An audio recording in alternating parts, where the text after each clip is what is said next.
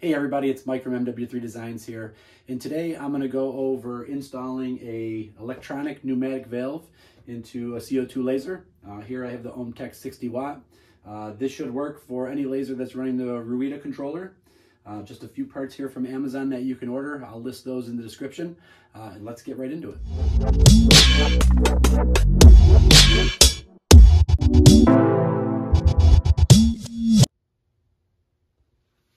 Okay, let's go over some of the parts that uh, I ordered here from Amazon.com.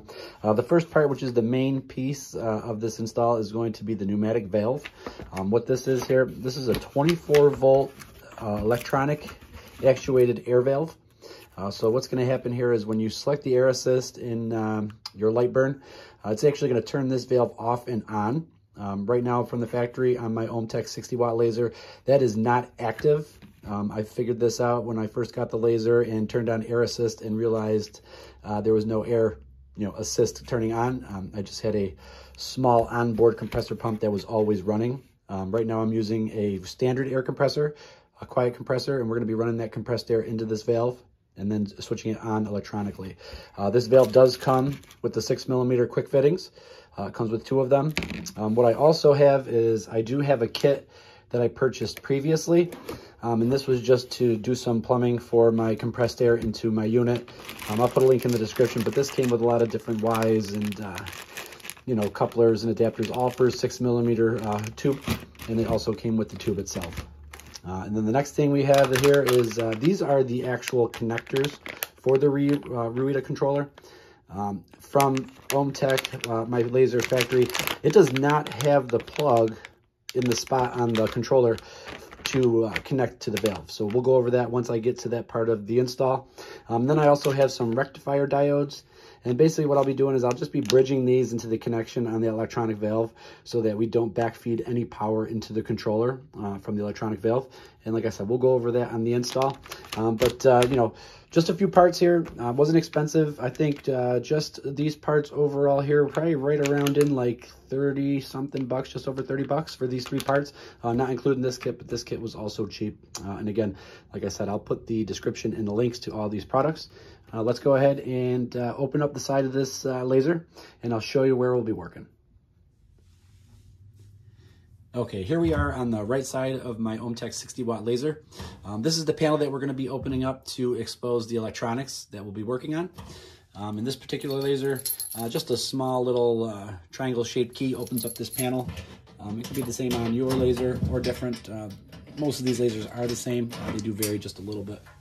All right, so now what we're looking at here inside this panel, uh, this is the controller uh, this is where we're going to be making our electrical connections uh, for the electronic actuator. Um, and then what I, one of the parts that we did order from Amazon are these little green plugs here. Um, from the factory, uh, these are actually empty. There's no plugs in there. Uh, so you do buy this and this plugs right in. Um, and the two connections that we'll be making here, uh, there's one connection for a 24 volt positive, and then the negative part is going to be the one that says wind. And this is directly correlated to the air assist portion of your uh, Lightburn software. So let's go ahead and get into this and we'll show you how to do the wiring. Okay, so let's go over the main piece of equipment for this install. Uh, this is going to be the pneumatic valve. All right, so what we have in the box is the valve itself. Then they'll give you two of these, look like quarter inch by six millimeter tube quick fittings. And then a little bit of Teflon tape. And now these fittings do have a little bit of a sealer on there, but uh, I'm going to go ahead and put a little Teflon tape on there just to make sure that we get a good airtight seal. Um, and the valve itself, you'll see here, uh, these are your air connections where you'll be threading in those little six millimeter tube adapters. Um, and you do have in, which is going to be in from your compressor. Out is going to be out to your laser, uh, you know, laser assist airhead. Uh, now this valve itself, um, it does mount different ways. So if you unscrew this large screw here, as you can see right now, the wiring connections would be in the way of your air hose. So this just slides off and you can set this up to aim, you know, different ways so that uh, that wiring, of course, is not in the way of your air inlet. They're actually a couple of little uh, raised tabs there and some holes on here, so it'll only mount in these specific directions.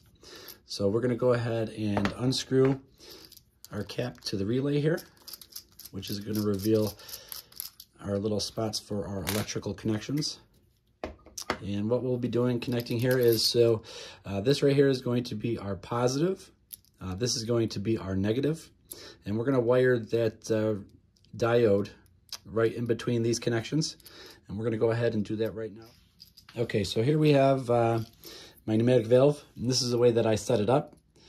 Uh, this was, I just feel this is the best way that it'll work in my machine. Um, I'll probably just end up uh, Velcro mounting this probably right into the bottom of that compartment.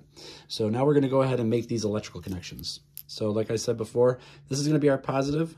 This is gonna be our negative. And as you can see, I already put in the diode here. I don't know if it's kind of small, but you can see that. So you're gonna notice a little gray band on these. And of course, when they come, they're straight like this, but you'll see that little gray band, and that little gray band is gonna be the side that you're gonna wanna put on the positive side. So go ahead and insert that right into the slots. I put that in before I put the wires in. And as you can see, I do have the gray band on the positive side, which is the same side that this light emitting diode's positive side is on.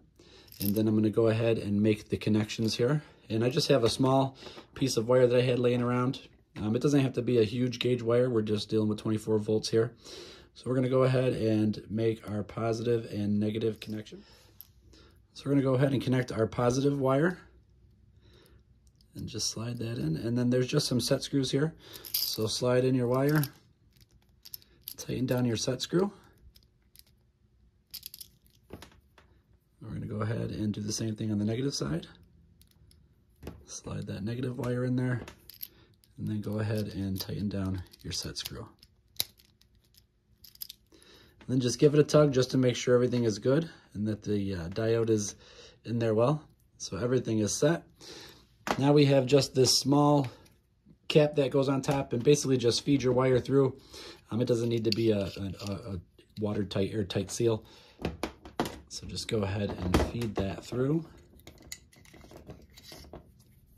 And there's just a small rubber washer in there. And that rubber washer, if you were using a thicker gauge wire, of course, would uh, cinch down on that wire inside there.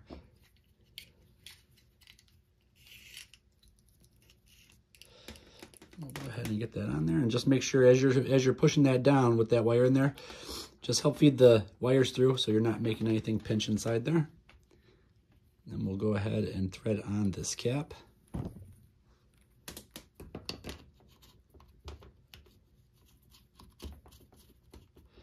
And now our connection is made on the pneumatic valve side.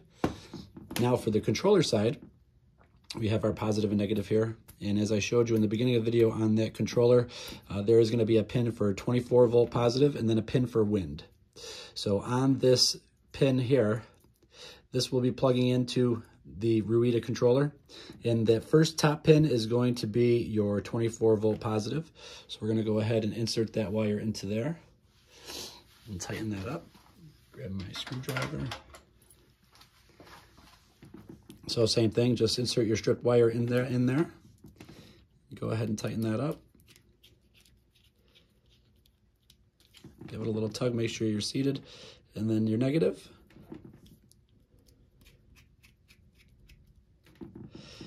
Go ahead and tighten that up. And now with these little uh, these little plugs here, I'll just kind of see if I can show you. You can see that when you unscrew this, it opens up that spot. And then as you close it, it cinches down on the wire. So just make sure you have it opened all the way before you put your wire in there. All right, so our connections are made here. This is our pneumatic valve with our connection for our controller. Let's go ahead and go over to the controller, install the electric, and then we'll install the air fittings. Okay, so here we are on the side of the controller. And as you can see, I try to zoom in a little bit better here. You can see that this says 24 volt positive and then wind. I'm to zoom in here for you guys. See if you can see that. So 24 volt and wind. And those are the first two on that green controller. And look at our plug here. And as you can see, we have those are the top two on our plug. And we're to be going right to the 24 volt and wind. So you just take this plug and it's basically just going to be plug and play. It's just going to plug right in, just like that. So our electrical connection is made. And now as far as our valve goes, just for now, I'm just going to just set the valve in here. But I do plan on making a Velcro mount in here to keep everything nice and tight. And now let's move on to our air. So this is my current air connection right here. And you might say, why is there a Y adapter there? Um, I do have a Y adapter here because I was still running compressed air to my laser head uh, just without a valve. Um, so I right now I have my onboard compressor connected as well as my air compressor.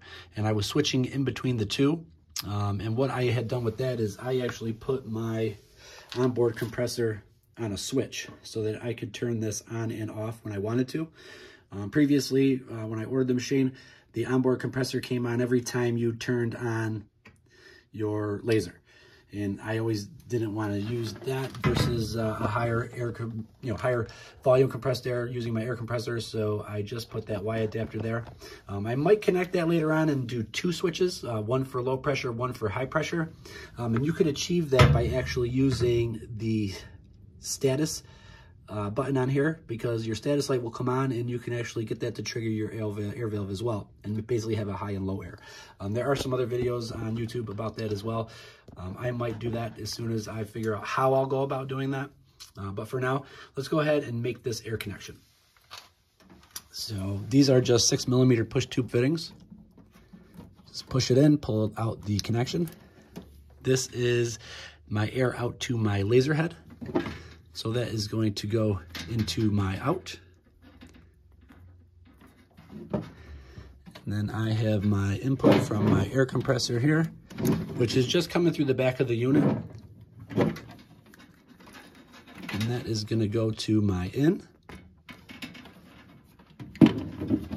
And like I said, I'm gonna just mount this probably with some Velcro, just so that everything stays put in there. Uh, but for the time being, just for some testing, we're gonna go ahead and just let that set in there like that. Um, now I'm gonna jump on Lightburn and I'm gonna show you guys what you need to do in there. Um, the air assist is not enabled uh, from the factory.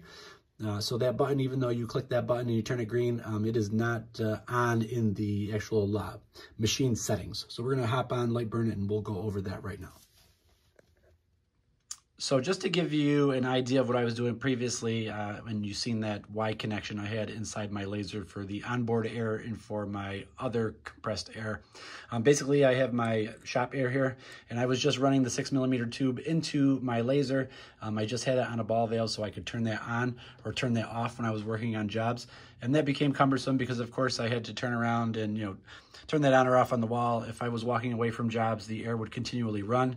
Um, that would make my compressor work harder. Uh, so now the air will come on and off with each cut on the machine, and I'm going to show you that right now. Okay, so now I'm going to come over to Lightburn. Um, I have Lightburn opened. Uh, my laser is on. We are connected to the laser. Uh, make sure you're connected to the laser because this is an actual setting that's on the controller itself, not in the actual software. Um, my Lightburn version that I'm running right now, look in here, uh, Lightburn 1.3.0. Um, I haven't updated yet, uh, but just so you know that I believe it is the same in uh, the different versions as well. Uh, so what you're going to want to do is you're going to want to go over to Edit. You're going to go to Machine Settings. This is going to establish a connection with the controller. All right, so once we're in here, uh, you don't want to really mess around with any other settings in here uh, except for what we're talking about in this video. Um, and we're gonna go into vendor settings. And in vendor settings, you're gonna see enable air assist output, and that's gonna be true or false.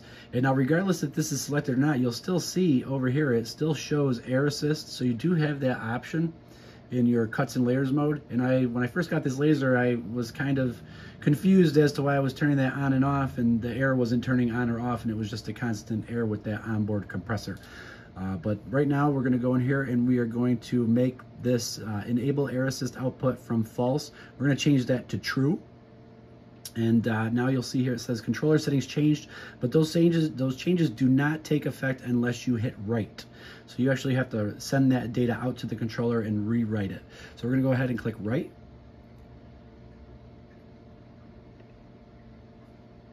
And it says controlling settings have been changed. Say okay. And now we should be all set to test this out. Uh, we'll go ahead right now and we'll just do a test cut Um, I do have a small square in here. So what we'll do is we'll just get that square and I'll make a couple of duplicates out of this. So we'll just do four, we'll do four, four small square cuts. And I'll just put a small piece of foam material in there and we'll go ahead and we'll make the cut and we'll see how enabling this air assist works. Okay, so we're gonna run a test here. Uh, this is just gonna be a dry run. Uh, right now the laser is off. Um, I do have the door open, uh, but like I said, the laser is off, so there is gonna be no laser uh, being shot. Uh, and right now, what you should hear is you should hear the air coming on and coming off per every cut. Uh, and what we are doing is we are just cutting these four boxes here and you're just gonna hear the air come on for each box and turn off. So let's go ahead and run this job.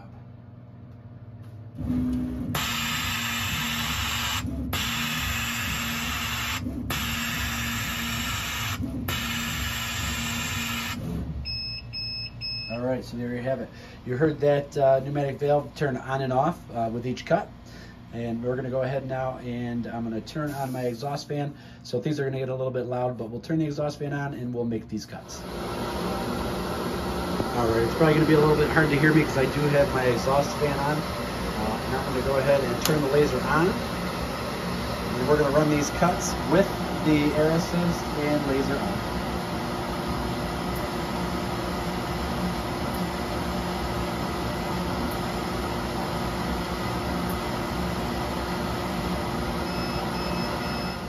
All so we'll let that, uh... all right, so here we have the cut. And as you can see, great clean cuts, uh, running some nice good air through that.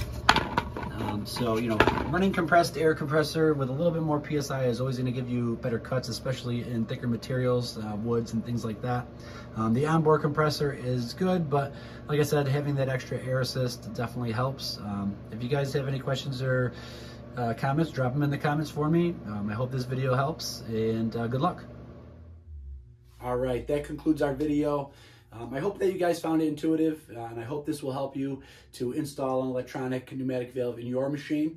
Uh, like I said, this OMTech machine that I had, it came with an onboard compressor, but that onboard, compressor wasn't really giving me the air pressure that I wanted to uh, make cuts in larger materials uh, and things like that. So the, the higher pressure air and using that valve makes the machine a little bit more efficient. Um, if you have any questions or comments, you know, leave them in the comments section. Uh, like I said, I'm going to link uh, in the description to those parts that I had purchased here. Um, I hope this video was helpful for you guys, and uh, I'll see you soon.